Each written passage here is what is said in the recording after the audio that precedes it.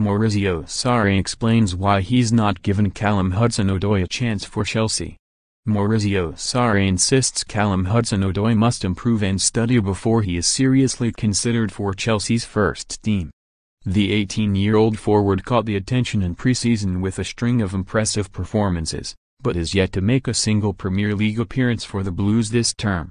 Hudson-Odoi is regarded as one of the finest talents to emerge from Chelsea's academy in many years and the club fear the England under-19 starlet could be tempted to leave if Sarri continues to overlook him. The likes of Eden Hazard and Willian are blocking Hudson-Odoi's path to the starting 11 and Sarri admits he finds himself in a difficult situation, with Pedro and Victor Moses fighting for places on the bench.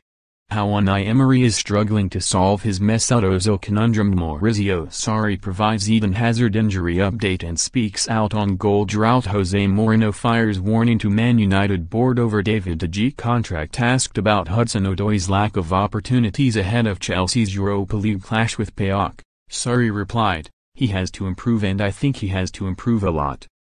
First of all in the defensive phase, he has to work, he has to improve on the offensive phase has very good in 1v1 situations, but he has to learn to move without the ball potentially. He's a very, very good play, but now he has to study, now he has to work, it's normal. He's 18. I want to find space for him. At the moment it's not easy for him because we have 28 players, it's not easy to put him in the starting 11 because maybe on the bench there is Moses, or Pedro. So it's difficult not to put these type of players in the starting 11 on Wednesday or Thursday. But I will try, I will try. He's in the 18 players for the match, with PAOK, I don't know if he will start or not.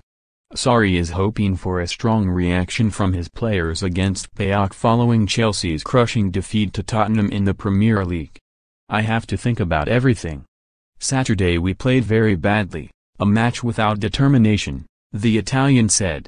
Manchester United star set to discover his fate in crucial talks Jose Mourinho reacts angrily to question about dropping Alexis Sanchez Manchester City star close to signing new six-year deal but we lost a match after 110 days I think.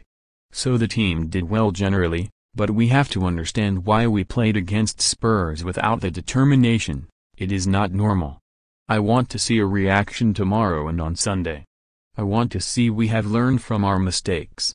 More, Chelsea boss Maurizio Sarri provides Eden Hazard injury update and speaks out on goal drought.